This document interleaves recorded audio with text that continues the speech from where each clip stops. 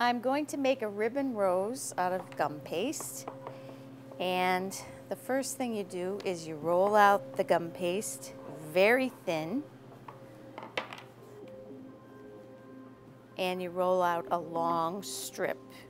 Now you could use a textured rolling pin or you can um, just stick to a regular one. Actually, I'll, I'll do a textured one. So you want to roll it out fairly thin before you use the textured rolling pin. So I'm going to just roll this down the length of the strip. And you can actually go the other way also if you want like a, a uh, like a checkerboard effect. You can roll it that way also. Okay.